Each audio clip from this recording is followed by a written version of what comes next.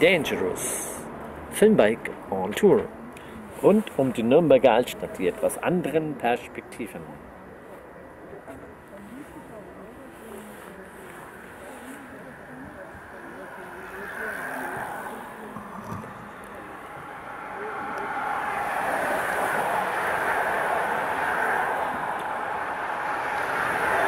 Festivals.